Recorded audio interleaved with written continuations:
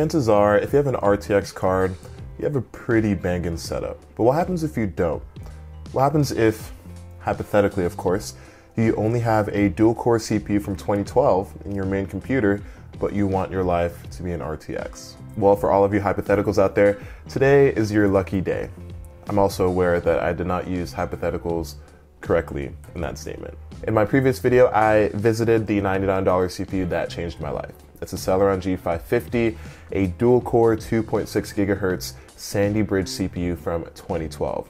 It doesn't have that much going for it. In that video, I pushed it pretty far, way beyond what I would expect in 2012. But in this video, I want to push it even further and try something that I've actually never tried on the channel before. That's ray tracing. Ray tracing has its ups and downs, of course, and it's a pretty new technology for consumer desktops, all things considered but I want to try it on some not so stellar hardware and kick off some ray tracing experiments on this channel. Zotac sent over an RTX 2080 Super for us to do some testing, and what's a better OzTalks experiment than some bottlenecking action? Oh, and I want to say thank you, Zotac, for sending this over and being very flexible with me while I was making this video. You guys rock. So today I present you RTX on a $99 CPU. Let's do it.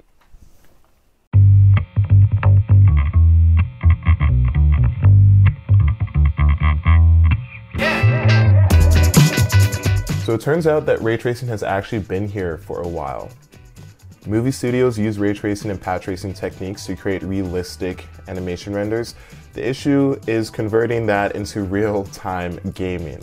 There have been techniques and mods for this before RTX was coined by NVIDIA, but they definitely helped push the ray and path tracing agenda to the masses. This of course means that you actually don't need an RTX card to try ray or path tracing, which I will visit in another video, but for now, let's stick to just the RTX lineup. The biggest problem with using this real-time lighting technique is that it consumes a lot of resources, definitely more on the GPU side than the CPU side, but the CPU is still very important here. If you look at all of the AAA RTX games, they require pretty high-end processors. Battlefield 5, Ryzen 7 1700, or an i7 8700. Control, an i5 7600K or a Ryzen 5 1600X. Metro Exodus 4770K recommended, and if you want to play on high settings, an 8700K.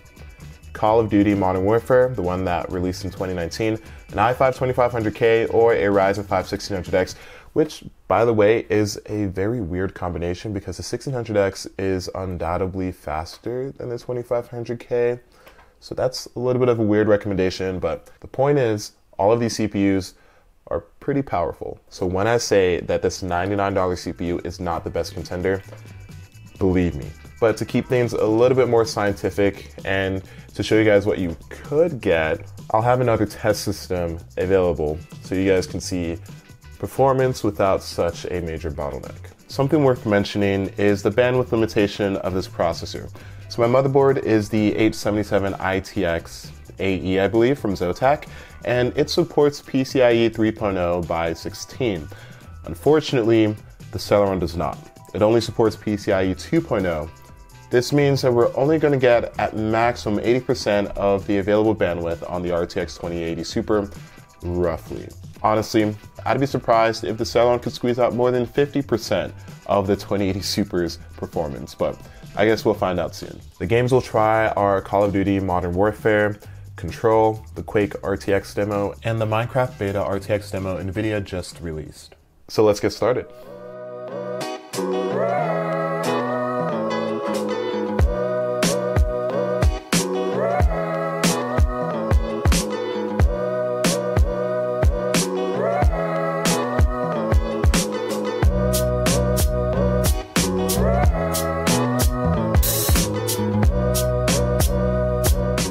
Dove headfirst into RTX gaming and I started with Call of Duty Modern Warfare, the 2019 edition. The loading screen was pretty telling of the experience I was going to have. I was there waiting for about five minutes the first time I loaded up the game. Someone please save me from this misery.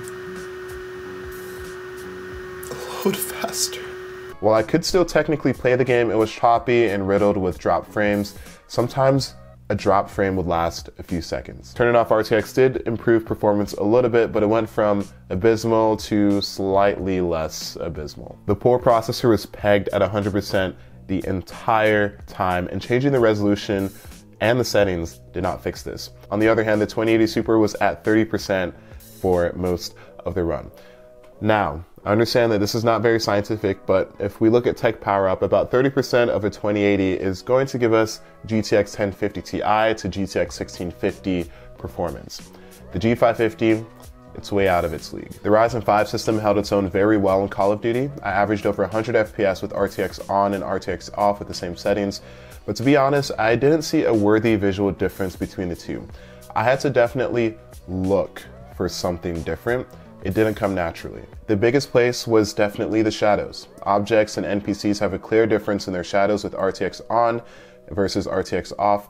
I tried to look for a difference in reflections, but couldn't find anything worthwhile. And that's because COD doesn't support real-time reflections, so it makes sense. At least the shadows look good though. Quake obviously had a huge difference in every aspect. The lights bounced, they refracted and diffracted properly, and shadows were a lot more realistic. And honestly, I think that's where ray tracing really shines. It can bring life to old games. The G550 performed well with RTX on and RTX off, which I expect since Quake 2 is over two decades old, but RTX does give a hefty performance hit. I know this is a demo and there's still kinks in the system, but for a fast-paced game like Quake, the performance difference really does matter. The G550 and 2080 Super combo still pass with all things considered. Also, look at those usage stats. Honestly, the Celeron can actually breathe here so much that even a 2080 Super is being put to work. It's over 30%, which is totally different from Modern Warfare. That's both terrifying and a little bit unstressful at the same time. I was very excited to test control on my $99 CPU. Alas, my Celeron was too slow to even make it to the main menu of the game. I spent maybe 20 minutes waiting for the splash screen to finish loading before I called it quits. Maybe next time. And lastly, this game would not be complete if I did not test one of the most popular games and I think one of the best selling games ever, Minecraft. NVIDIA released the Minecraft RTX beta recently and I had the opportunity to test it out. Let me just say, it was a great time. And on the fifth day, the Lord said, Let there be RTX. also, follow me on Twitch for more exclusive content. Twitch.tv slash OzTalksHW. The difference between RTX on and off is honestly shocking. I understand that SEUS shaders and mods have done this for a while now, but it's always good to see large corporations acknowledging modifications and helping push the agenda. Realistic lighting and reflections really breathe a new life into the game. Just look here. In the lobby of the Color, Light, and Shadow RTX Showcase map with RTX off, it looks pretty standard. No reflections, static shadow maps, and bland color, and little light interaction. Once we turn on RTX, it adds realism to a very unrealistic looking game. Oh, and the best parts? No oily floor. for the most part, performance was fine, but it does have a wide range depending on your map and your settings. I used the lowest render settings for everything, set anti-aliasing to 1, and kept graphics at fancy. In the global illumination zone, the $1 CPU sat around 82 FPS without RTX and ran fairly smoothly. With RTX on, the game sat around 55 FPS, dipping to the 40s with reflections on screen, but it still performed great. Neon City, on the other hand, didn't run well once we stepped outside. It was playable without RTX, but once RTX was turned on, the poor Celeron struggled to keep its head above water. This was the case with the Ryzen 5 build as well, but the difference here is the usage. Take a look. The $1 Celeron is pegged at 100% the entire time with the 2080 Super not really breaking a sweat. It's quite the opposite with the Ryzen 5 system. It's barely breathing, while the 2080 Super is pushed to its absolute limit. Naturally, NVIDIA does have a workaround for this called DLSS. I'll link a video on DLSS below, but it's a deep learning algorithm that keeps frame rates high without sacrificing quality, in Minecraft anyway. Sadly, enabling it doesn't help one bit with the Celeron because the bottleneck is simply too great.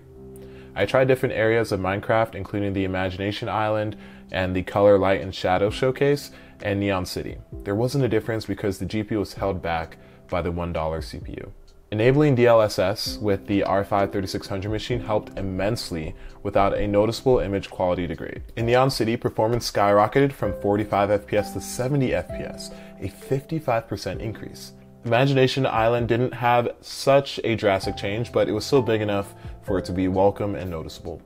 It also seemed that the settings played a big part. If I maxed out render distance, it didn't matter if DLSS was on or off, performance remained low.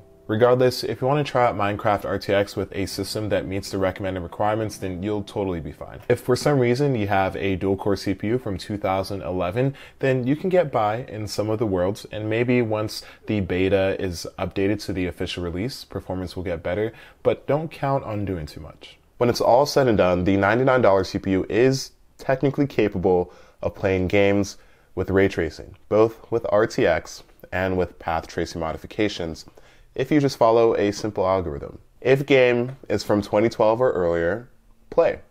Else, stay away.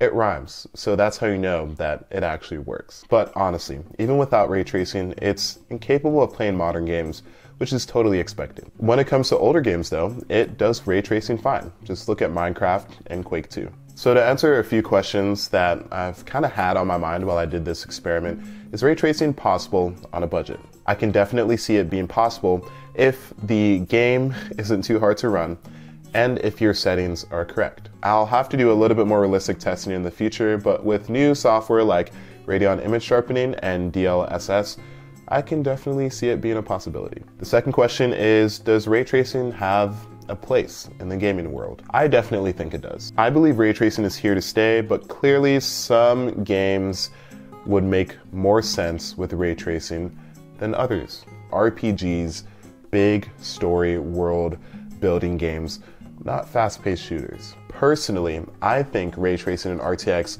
would make an amazing implementation with older games that are going to be remastered like Halo Combat Evolved just got released on Steam, and I think if you can add some kind of path tracing modification to that, it would look phenomenal. And lastly, what's next for the $99 CPU? Honestly, I don't know. This, whew, this CPU has tested my patience. It's kind of crazy to me that I was able to use this processor back in 2012 in my main computer, but times change, priorities change, expectations change, and technology changes. I wouldn't force my worst enemies to use this processor.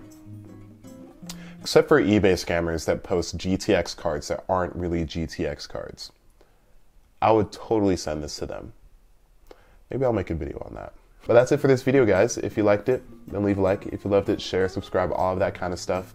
Uh, give Zotac some love for being very flexible with this entire video and for sending me a 2080 Super absolutely insane. I really appreciate it. Hopefully, this will give you guys a little bit more insight on the budget world and ray tracing and how those two intersect because I do believe that there can be a happy marriage between the two. With that being said, make sure you follow me on Twitter, Instagram at OzTalks Hardware or OzTalks HW on both, and I'll see you guys in the next video. Peace.